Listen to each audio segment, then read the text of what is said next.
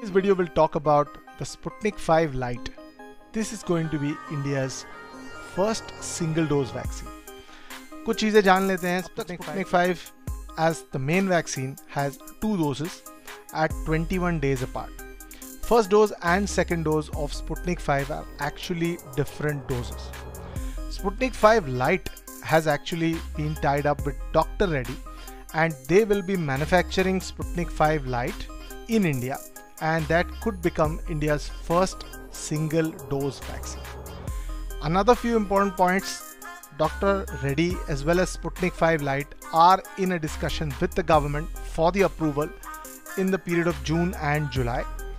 They are also sharing this data with WHO for the approval of this on a global scale.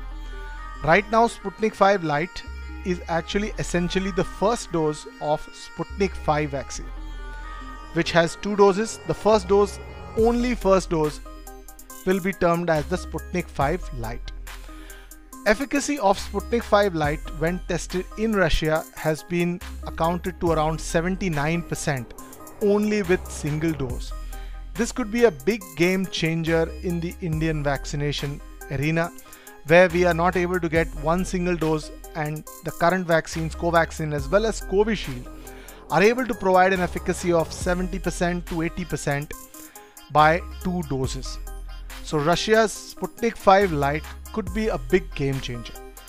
Another couple of points about Sputnik 5 is the storage of Sputnik 5 is still a challenge considering it is to be done at minus 18 degrees centigrade. So the cold storage chain which is currently 2 to 8 degrees for Covaxin and Covishield may not be suitable. So at this point of time, it is some promising news about Sputnik 5 Light being the single dose vaccine, but still appears to be a little bit of a long way to really have it on the ground.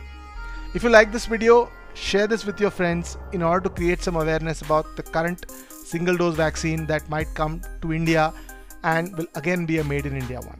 Like, share and subscribe to our channel. Thank you so much and bye bye.